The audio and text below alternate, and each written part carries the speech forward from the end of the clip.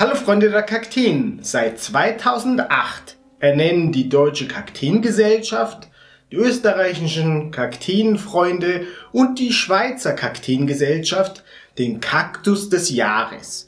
Und ich habe bisher noch kein Video dazu gemacht, auch wenn ich sehr viele Kakteenvideos bereits gemacht habe.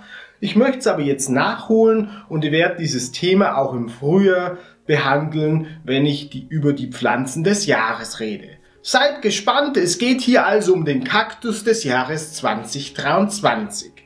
Let's go! Intro! Floll.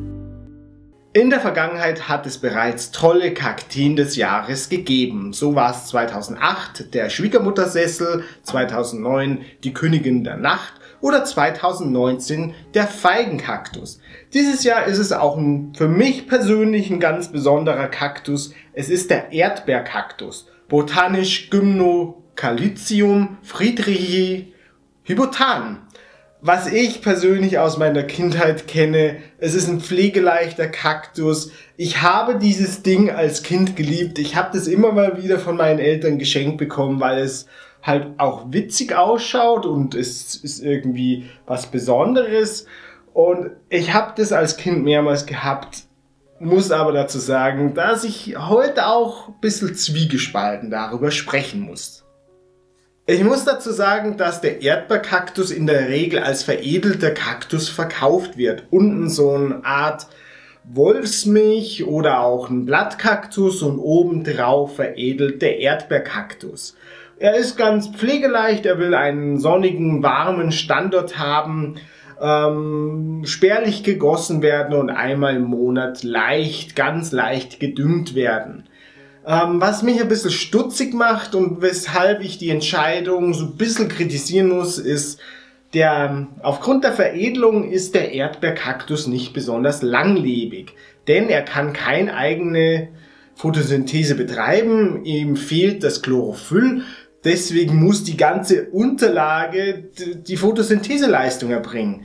Heißt, wenn das Ding oben, der Erdbeerkaktus oben größer wird und mehr Futter braucht und mehr Assimilate braucht, dann entsteht ein Ungleichgewicht und es kann auch dazu kommen, dass die Unterlage abstirbt, beziehungsweise einfach das Ding oben zu schwer wird und das Ding insgesamt umknickt und abstirbt.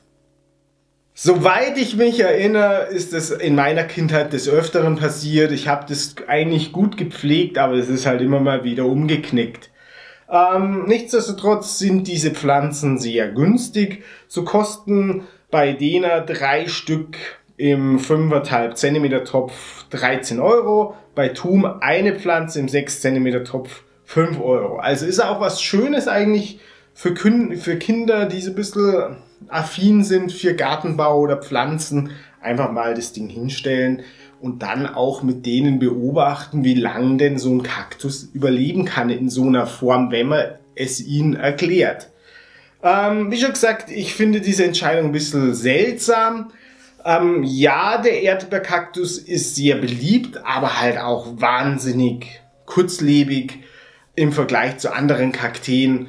Und es ist halt fast so, im, wenn man es im Vergleich zu anderen Kakteen sieht, fast so ein Wegwerfkaktus.